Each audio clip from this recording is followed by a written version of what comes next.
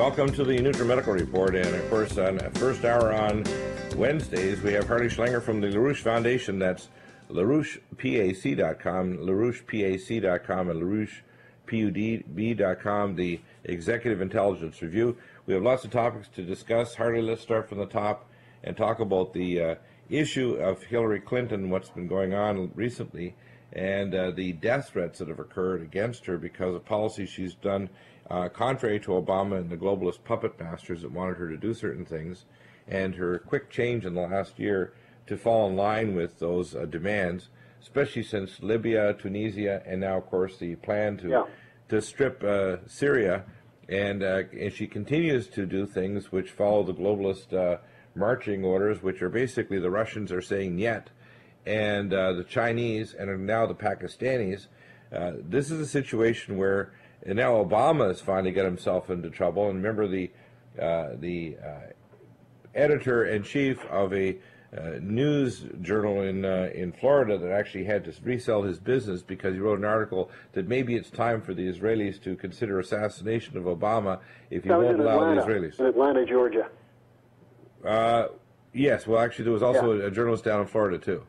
Yeah. Well, Yeah. let- let- if we start at the top, uh, we're putting out a leaflet. It's available on our website, and it needs to get out quickly in large numbers on the terrible mistake of Bill Clinton. And as you probably know, your listeners probably know, uh, LaRouche has for a long time tried to take the Clintons in a proper direction. And this was very strong in the late 1990s after the uh, Asia crisis in 97, when Clinton instructed his then Secretary of the Treasury, Rubin, to make a very strong statement not a penny will go to bail out the banks. Uh, actually, that one occurred after 98 with the LTCM crisis. A hedge fund blew out, it nearly toppled the whole financial system, and the Federal Reserve under Greenspan came up with 16 billion dollars and made the banks come up with 16 billion to stop the unraveling from going on. At that point, Asia was on the edge. The banking system was demanding a bailout. And Clinton put out a statement through Rubin that there will not be a penny for the banks. And then Clinton, in September 1998, made a very strong statement at the Council of Foreign Relations luncheon in New York City, where he said the current financial system is a mess. The monetary system is in the worst crisis since the end of World War II, and we need a new financial architecture.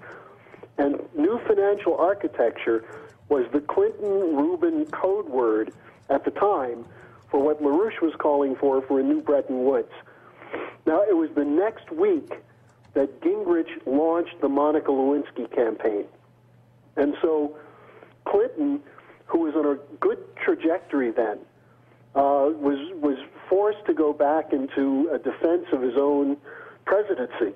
Remember that people like Al Gore and Joe Lieberman, Lieberman was a Democrat at the time, were saying that oh, that Clinton should resign. There were there was a big gang up on him. We led a fight. We led a fight to get Democrats to get back in and, and say, look, this is a a minor case. We've got much more important things to do. Uh, and Clinton stayed in office. But it was during this period of time also that Larry Summers and others convinced Clinton to sign the bill that repealed Glass-Steagall. So we lost a lot in that 97 to 99 period, and Bill Clinton lost a lot of his fighting spirit. Now, until recently, Hillary's been working very closely with the Russians and the Chinese to try and stop this crazy Obama administration from blowing things up. But that changed Literally. at the time of the Libya intervention. Yeah, we're not just talking about blowing things up a little bit. We're talking about a thermonuclear conflict that these idiots could start. Exactly. And whatever problems people may have with the Clintons, they were smart enough to know that nobody wins in thermonuclear war. And the last thing you want to do is get into a blinking match with the Soviets, or the, the Russians rather, and the Chinese. Uh, Exactly. So Hillary had worked very diligently with Sergei Lavrov, who's the foreign minister of, of Russia, very important figure in Putin's close uh, collaborators, to constantly have a channel of discussion. So she could call up and say, look, Obama said this, but ignore it. Look, we're doing this, but this is not serious. We're not going to do anything. Let's keep the discussion going. That was Right. broken with the Libya intervention, which Bill Clinton knew Obama committed an unconstitutional offense by ignoring the War Powers Act over the Libya situation. Right. Now, the other key Democrat in this was John Kerry. Kerry worked with John McCain to stop a rebellion in the Senate of Democrats and Republicans who were going to demand that the War Powers Act either be applied or that Obama be held in contempt. This was a bipartisan move, uh, Democrats and Republicans, and it was McCain and Kerry who worked with Harry Reid and uh, Mitch McConnell to put this down and say, Obama's doing what's right, this is the right thing, we have to accept it. At that point, there was no one on the Democratic side who stood up and said, this is unacceptable. I mean, maybe Kucinich did, maybe a couple of others. The only one on the Republican side who did was Ron Paul. Now, you had other people like uh, Bruce Fine, a former Reagan administration Justice Department official, who came out and said this is impeachable. But no one on the higher levels stepped forward against Obama at that point. So, what LaRouche is saying in this leaflet is that Clinton has made a terrible mistake. We hope he will correct it, because if he doesn't, it may mean the end of our nation. And we got that out all over Washington yesterday, including the people in the Clinton networks, including the Republicans. And LaRouche followed it up with a statement today where he said the Republican Party is doing nothing with its four candidates except reelecting Barack Obama. Yeah, it's actually a lot of money to make sure that he gets elected. Uh, Well, there's a lot of money to nominate Romney, who would be the loser. well, I, I don't understand. Uh, the latest thing that I don't understand is alliances between uh, Ron Paul and Romney, because it's obvious that neither attacks each other, and they didn't attack in 2008, but also this time. That uh, Ron Paul's run uh, ads in Michigan where he's not actually done any campaigning, but he's run ads against Santorum, when Santorum is a true uh, pro-life conservative, and the fact is that I, it does the logic defies me as to why Ron Paul's organization would support uh, Romney. Well, I'll tell you what I think is happening is that the deal is on that the Republicans will nominate probably Romney, and they'll lose to Obama. And you know, the the, the more the Republicans campaign, the stronger Obama is, and Obama is a hated figure. I don't. I don't know. If, I think that. I think once it gels together, whatever candidate becomes a Republican. I think though that people are going to have to hold their nose if Romney gets the election. I think any of the other candidates, no matter what, how dark their past, whether it's Gingrich, Santorum, uh, or Ron Paul, if any of the other candidates other than Romney, I still think that Obama's beatable. Obama has done so many terrible things, has Oh, screwed up the totally economy. beatable, but here's what we've got to do, Dr. Deagle. We've got to clear the deck and get some other Republican in there. I don't the think that's the I don't I don't think that's the the uh, solution either. What we have is we have a series of factions that are not uh, coming together, and I don't think uh, parachuting another candidate, like for example, one of the things they're talking about is a brokered convention and bringing in Jeb Bush. Jeb Bush is going. We've had enough Bush. Let's put it that. No, we, it shouldn't be a Bush, but what, there are some Republicans who are not so bad as the candidates are Well, that are running. I, I don't think it's yeah, I don't think it's a candidate issue. I think it's the fact that the Republican Party has to decide what its core policies are, and it has all these disparate groups. So it's not really a candidate issue. It's right. more it's more of a what are we as Republicans issue.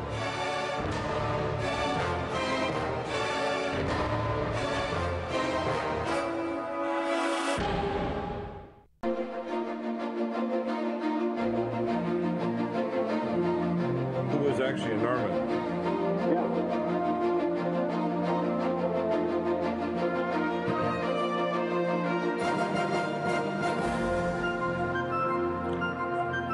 welcome back, and uh, let's go through this analysis of topics. And we have a lot of issues to talk about.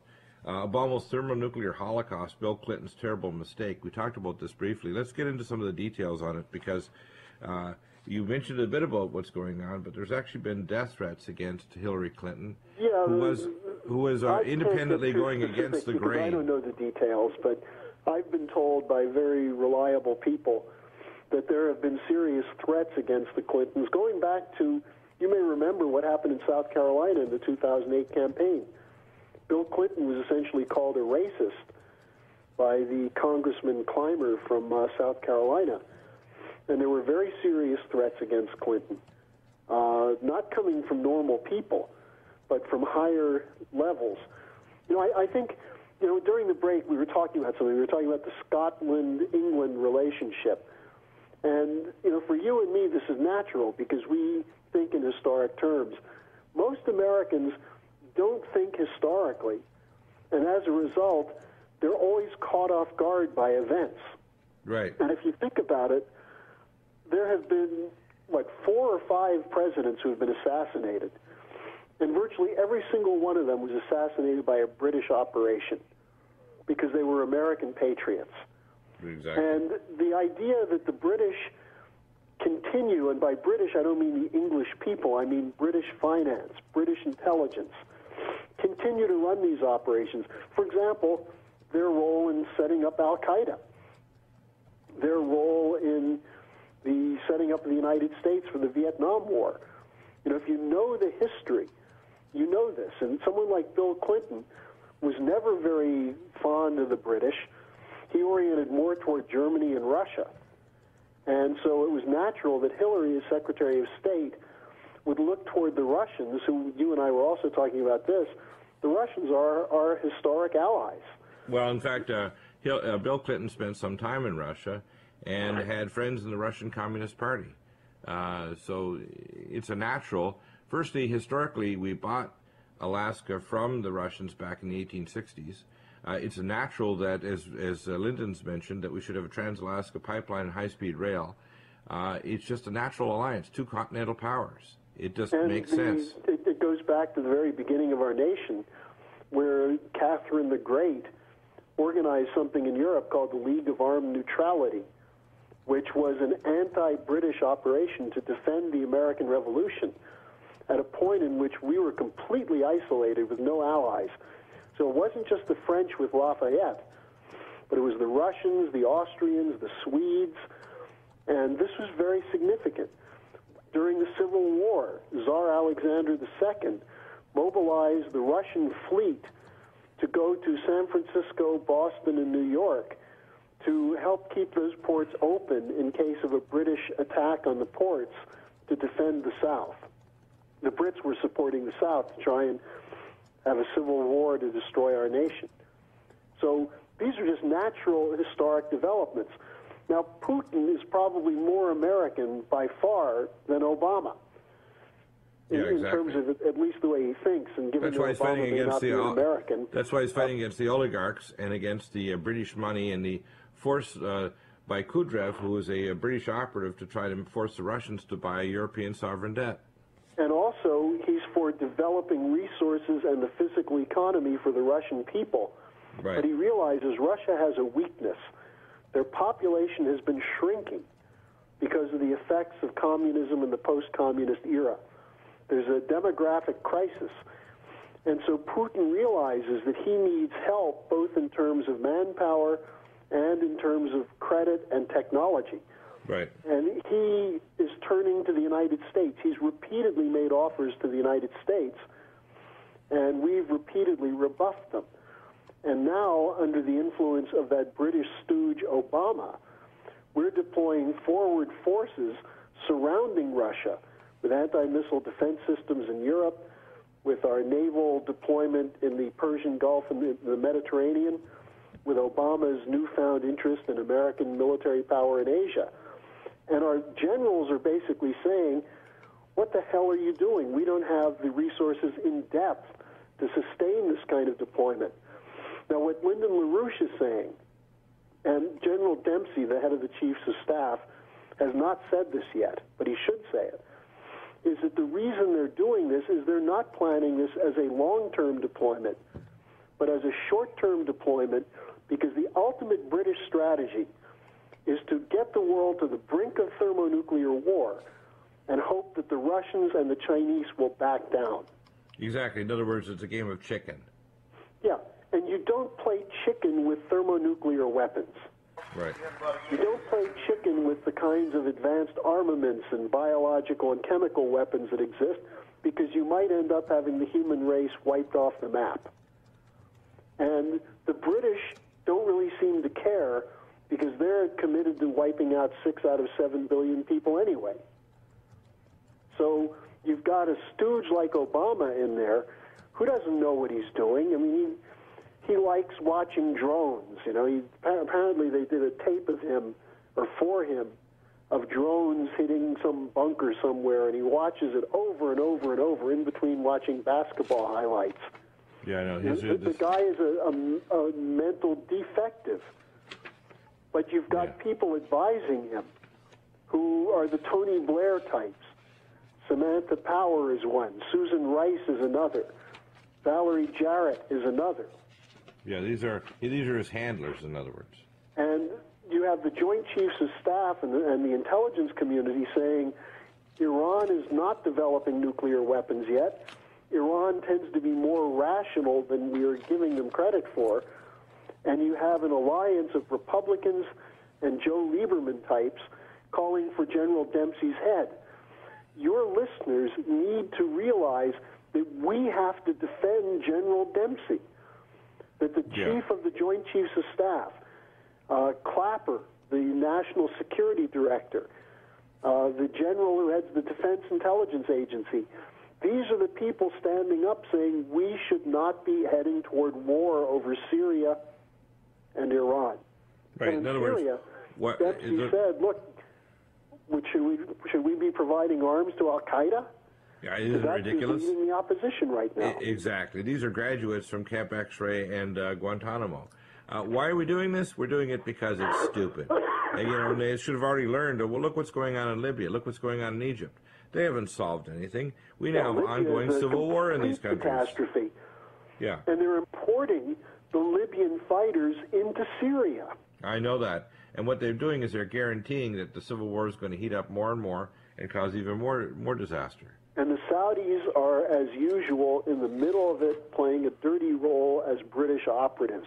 Well, the Saudis are going to get burned because eventually they're going to get fried for this game they're playing, which is a game that's going to eventually get them invaded and destroyed. Yeah, because they're a minority in terms. uh, If they break the Middle East into Sunni versus Shia versus Alawite versus this one and that one, the Wahhabites are a minority. Yeah, they're going to get they're going to get crunched.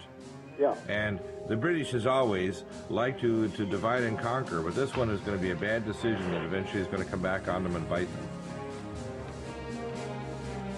Back in a moment with Harley Schlanger. Stay tuned.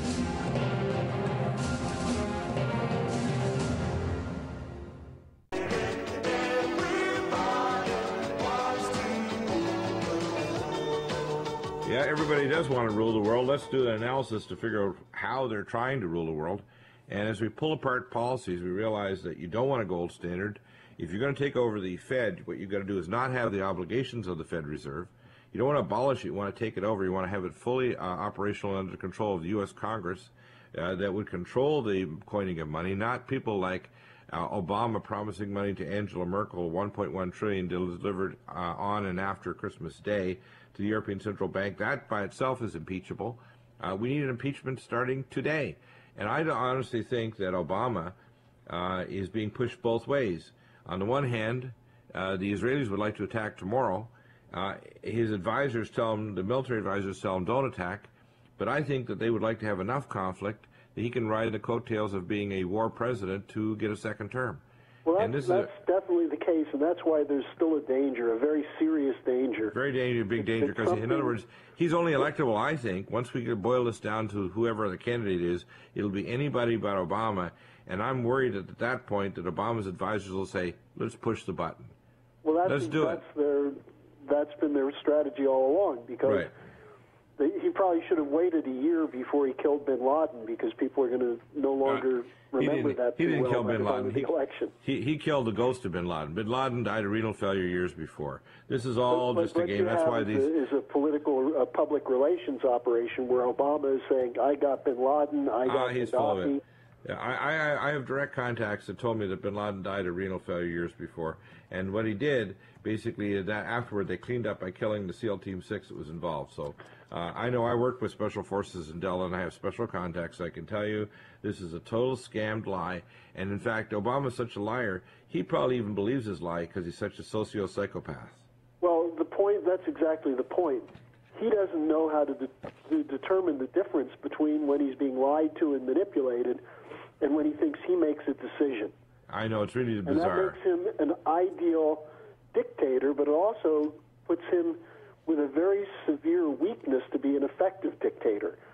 And one of the things that, that LaRouche is saying is for his own sake, you've got to get him out of the White House because otherwise they're going to end up killing him at some point. Well, when he becomes uh, less useful, or he tries to balk it uh, because it starts to strip away at his own ego structure, then we're going to have a real unstable uh, dictator like Nero when he uh, made his horse one of the members of the Roman Senate, or uh, he did other obscene things. Well, you know, the other point is that if you have that kind of situation with Obama and he's assassinated, that would be an attempt to trigger chaos in the urban centers. Now, I don't think it'll work because I don't think, I think most of the increasing uh, section of the black population that's falling out of the middle class, uh, even though they would probably vote for Obama, I don't think they'd go out in the streets and riot for him because I think he's lost that support. But. It's not a white on black issue anyway. The the whole issue is is not race. America's gone beyond the race issue. It- you know they got to leave it alone and stop this. Well, and this is race. why the issue of Bill Clinton is so important because if you had Clinton who, who provided a certain kind of unifier, even though, look, he compromised, he did all kinds of things that were wrong, but he did draw a line at a certain point, and he fought Gingrich in 1996. Right. Remember the uh, shutdown of the government and these kinds of things.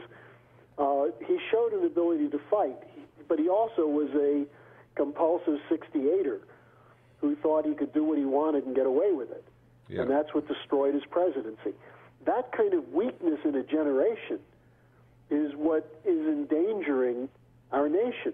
Now, the one grouping of that generation that doesn't have it is the military.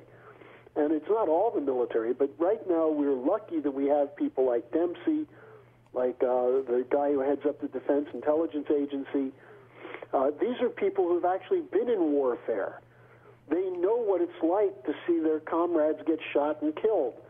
They know what it's like to call the parents of your troops and console them over the loss of their son or daughter. Right. Now, Obama doesn't know that. He doesn't have that human connection. And this is why we have a real obligation to stop the talk that's coming out of these windbags like McCain and Lieberman and Lindsey Graham. I mean, this is treason, if you ask me. When McCain and uh, Lindsey Graham were in Jerusalem last week, they met with Netanyahu, and they came out afterwards saying they agree with Netanyahu that Dempsey is wrong and he should step down. Oh, that's ridiculous. Now, Netanyahu's coming to Washington this week. Right. We've got a couple of important events coming up. Uh, there are the uh, Russian elections on Sunday, and there's an AIPAC conference. The American Israel Public Affairs Committee moved their conference up from April to March on an emergency basis. Oh yeah, I'm sure. Just so they can manipulate the whole process. They're Well, going to they're need to have. bringing in Ehud Barak, who's coming in tomorrow to meet with Obama, the defense minister, and then Netanyahu. And Obama is going to address AIPAC, I think, right after Netanyahu. Well, I think what they need is they, they need to schedule psychotherapists to fly in to treat Ehud Barak and Netanyahu before they actually meet. And they should have boxing gloves hanging on the door of the White House when they walk in there to meet Barack, because I'm sure Barack would like to give him a good whack in the face. Because the last time uh, Netanyahu treated uh, Obama, you remember, despite whether whoever he is, they treat him and the office of the presidency with great disrespect, and that should not happen. Well, and the reason is that Netanyahu is nothing but a British thug. Yeah, and exactly. he knows he's a thug. You know, Obama Right. doesn't know he's a thug. Obama's doing unconstitutional things that, that threaten the lives of, of hundreds of millions of people, and he's not aware of it. Netanyahu knows exactly what he's doing. He's committed to the British goal of genocide, and he's willing to help them.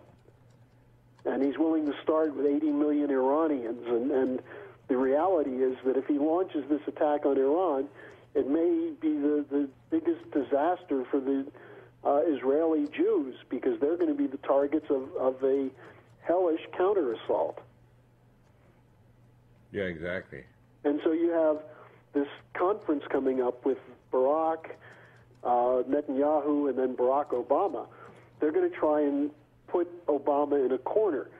Now, what's interesting is the, the military advisor to Joe Biden gave a talk yesterday to a Jewish group in New York City. I think his name is Blinken. And he defended Dempsey. And that's interesting because, you know, for whatever else he is, Biden is not a complete idiot. Oh, actually, I heard that uh, Biden actually is has a higher IQ than a lot of people give him credit for. The problem is he also is a bit of a socialite, so he'll Well, tend he's to hold back. He's Right, so the problem is that Democratic he- now- opportunist.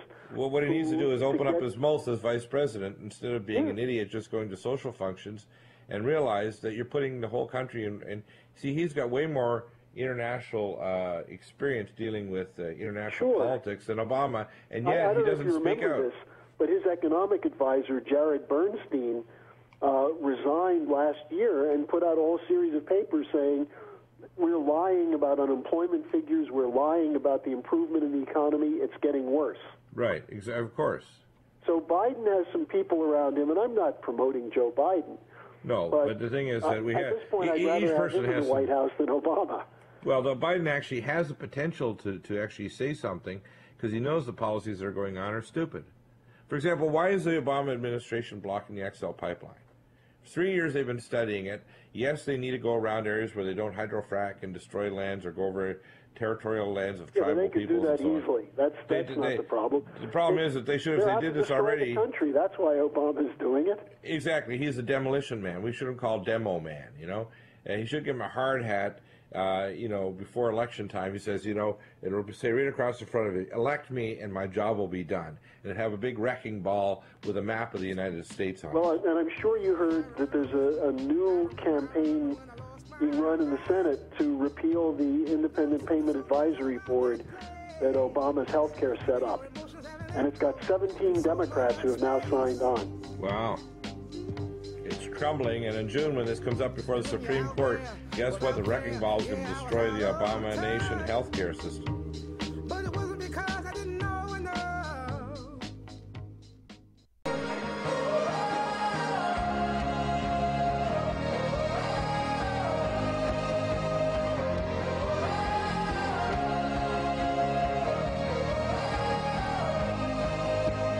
Welcome back, and get into some of these other important topics. Uh, Well, know, actually, this- I, I, we, we would. I, I mentioned the Russian election. Yes, let's hear even McFaul, who's the U.S. ambassador, who's really a, a dirty tricks operative, is now admitting that Putin's going to win with anywhere between 55 and 65 percent of the vote. But it's in that context that the other day the uh, Russians broke up an assassination attempt against Putin yeah. that was being run by Chechen separatists from guess where? The city of London. Oh my gosh. And the uh, one of the guys who was caught and uh, uh, spoke on camera after he was caught said that he had just flown from London to Odessa, the Black Sea port, where the, the reason they found this is that there was an explosion three days ago in, a, in an apartment in Odessa, and the Ukrainian special forces moved in and caught these terrorists, and Yeah. they, they showed plans for them to fly to Moscow and plant explosives that would be used to kill Putin after the election. Now, the rather than get too focused on this because there have been other attempts against Putin, the, the interesting thing to look at is what Putin has been saying in his election campaign.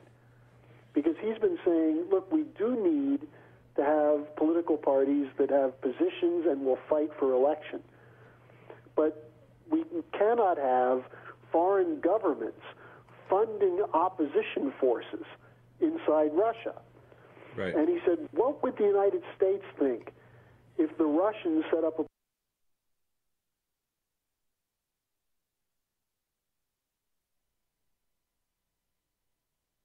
political party and funded it with hundreds of millions of dollars, the way the National Endowment for Democracy, which was set up under Bush Sr., Right. has been funding dissident groups in modern Russia. And if you think about it, you know, look at what we're doing.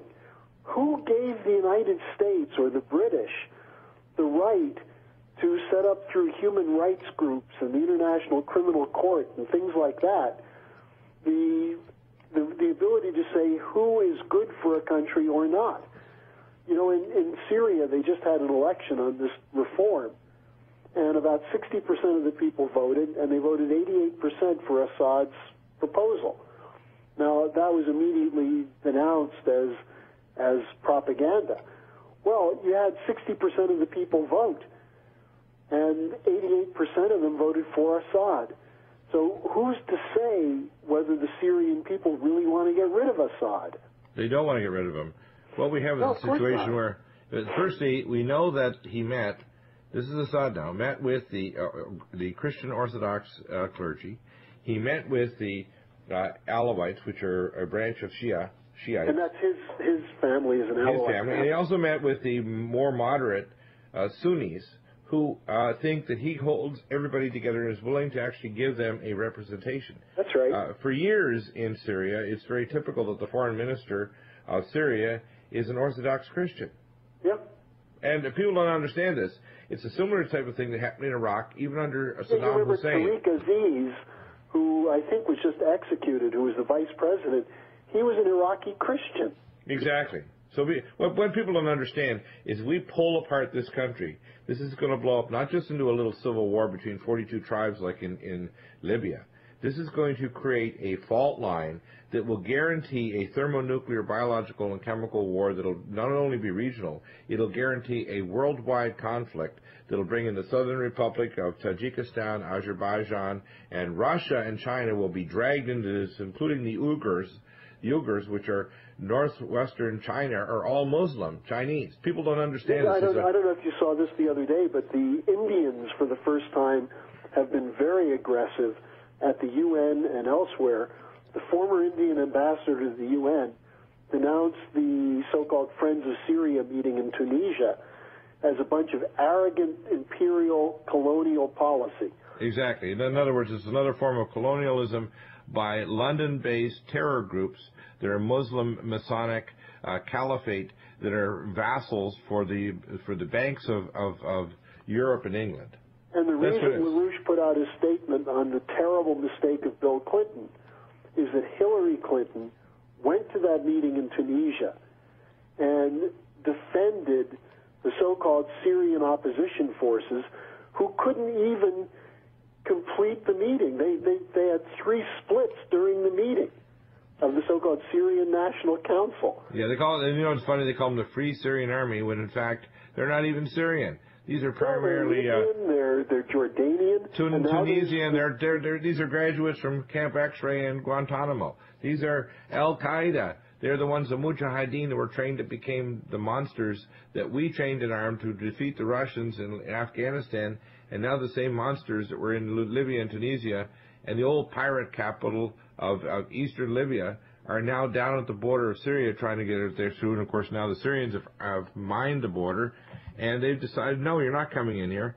And when they say that there's, uh, what we should do is have humanitarian uh, missions get the citizens and the civilians out of the way, because what they've done is they're using human shields there in Homs and in Aleppo, uh, because he's right across the border from Turkey and Lebanon, so that they can use human shields and say it's the terrible Syrian army are, are, are bombing and Well, shelling and, and what we're looking at, I, I think you said it just five minutes ago. Yeah. We're looking at a desperate game run by the British financial networks who are bankrupt. Right. and they're still trying to collect from nations the liquid capital that, that can be created to bail them out for another day or another week. You know, on Tuesday, a trillion euros, that's about $1.2 trillion, was created by the European Central Bank in uh, three year uh, bonds that they made available at 1% Right. to the banks, which meant that the banks could go in and uh, borrow at 1% and buy these bonds at 3%, and they're making 2% just by taking the bonds.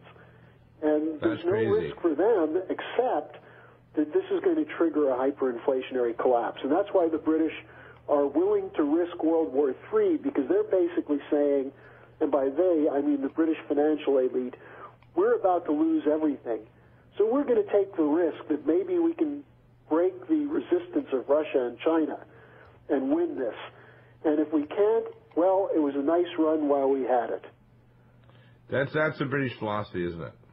And that's why it's so dangerous because our leaders either get assassinated when they stand up against them, as in the case of Lincoln, as in the case of McKinley, as in the case of John Kennedy, or they back down, as in the case of uh, Bill Clinton, or they're on their side, as in the case of the Bushes and Obama.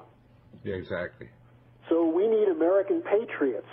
And that's why I, I'm calling on your listeners to go to the LaRouchePAC.com website, take down the leaflet, The Terrible Mistake of Bill Clinton, which defends the Joint Chiefs of Staff against the cowardice of the Clintons and the treachery of Obama, and get it around. Go to Democrats and say, look, is this your party? Is this what you voted for when you put Obama in there? You know, we've got to shame people with the foolishness of their decisions. And I, I think that if we can do that, we might be able to still shift this election because, look, there's no reason why someone in the Congress couldn't introduce a bill of impeachment.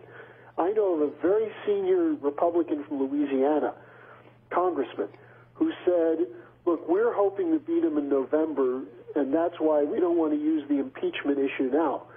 And the person who was talking No, to him that's- said, well, you're risking the, the future of humanity. Well, what what they have to understand is Mitt the, Romney. yeah, the wild card is I will put money on it. I'm not, I'm not a gambler. That what will happen is if they if they don't start impeachment proceedings against Obama, the wild card of war will pop out between May and October. And what LaRouche is saying is that it, it would be before the election, but he's saying Exactly. it could even be as early as this weekend.